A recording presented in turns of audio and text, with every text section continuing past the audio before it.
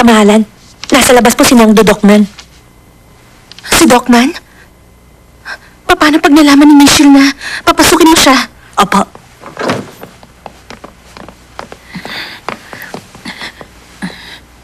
Nagkita na lang sana tayo ng palihim kung may ibabalita ka. Mahirap na baka pag hinalaan kanila. Sa simula pa lang, alam ni Lady Michelle ang katotohanan. Alam niyang, tao mo pa rin ako.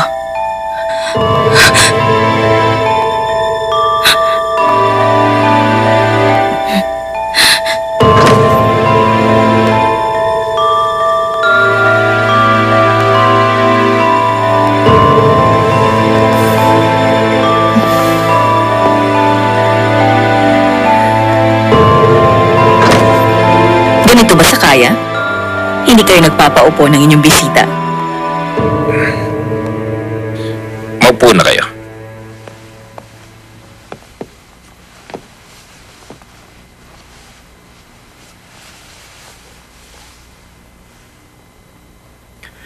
Ano ba talaga sadya mo sa amin?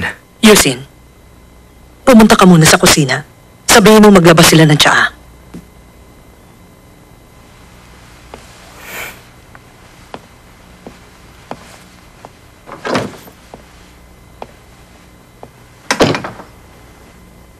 Pambihira ang katapangan ng inyong anak. Kaya lang, mas maganda sana kung naibabagay niya ang ganong katapangan sa mga nangyayari. Naparito ka ba para sabihing tapos na ang ibinigay mo sa aming taning upang magpasya? Alam ko na. Inaasahan mong susuko kami sa'yo ng ganong kadali. Anong susuko? Sa palagay ko, hindi niyo nauunawaan ang gusto kong sabihin.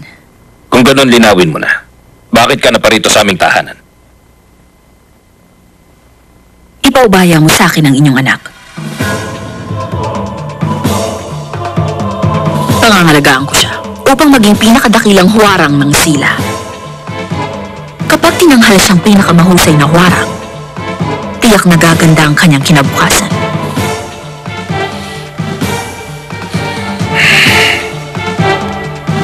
Maaari ba? Mahal na ministro, mahal na prinsesa, makipagtulungan kayo sa hamak na si Michelle? Kahit isa lamang siyang babae ng hari. Yun ang pinakamainam para sa ating lahat.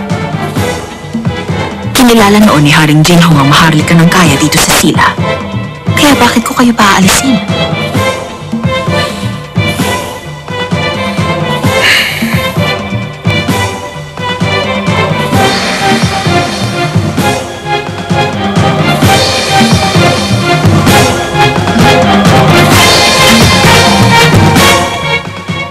Gets mo na ba ang paalala ng bilog na hugis itlog? Sila gets na gets na! May bilog, may bilog, na hugis itlog. May bilog, may bilog.